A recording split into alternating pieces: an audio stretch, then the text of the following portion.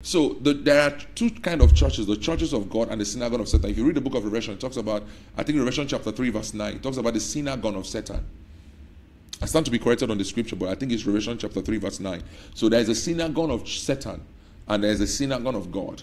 So there's always a constant warfare.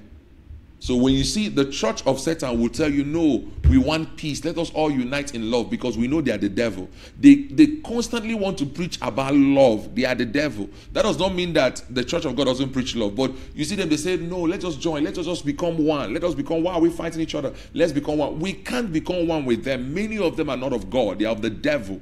So they just want to solidate us. They want us to become one so that we can uh, authenticate them. So the church of God, keep the church of God will keep warning you against false prophet.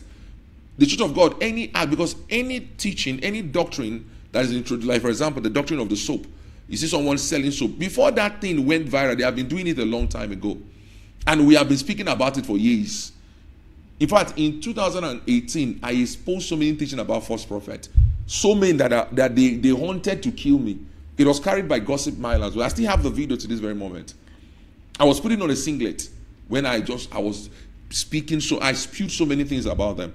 All right. So we've been exposing them. The reason why we expose them is that a, a, genuine believer might be deceived by what he's seeing. So if a man of God starts selling soap, starts selling anointed water, starts selling something, uh, starts selling bottled water and saying it's anointed water, and why he's selling it and nobody's tackling that thing, nobody's challenging that teaching, another young minister will grow up and do it. And not knowing that that thing is doing a deception because he doesn't know better. Because there are so many men of god you thought you believe that they are genuine that are from the devil. Yes. So many men of god some of the men of god you think are genuine are from the devil. Some of them you think that these people are must be genuine are from the devil. How do you know someone that is false? You know by the spirit behind them. And you will not dictate every false prophet. There are some false prophets that god will not tell you that they are false God can show to someone else, but will not show you. It depends on the because some of them have learned how to hide, and some people were genuine, then they became false, and some people were false and they became genuine.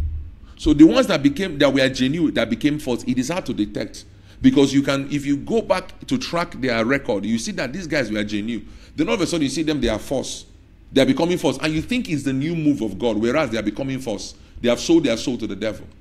And there are people that were false. You know them as false. But over time, they repented and they became genuine. And while you are watching them, you're wondering. You're wondering, ah, this guy, because you think, because you, you know them as false. So you think they will forever be false. No. There's some people that were false that will become genuine. They will repent and they will become genuine.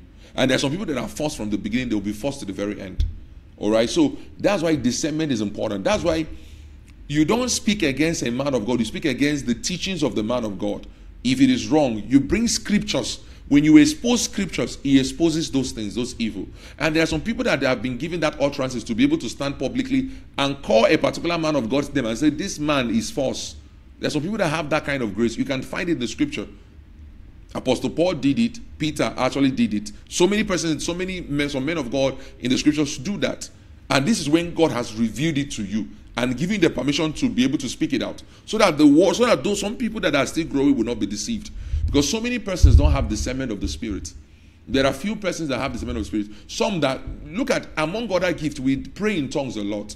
And everyone that prays in tongues should be able to interpret tongues. By the grace of god i interpret tongues. When the lord opens my understanding i interpret tongues.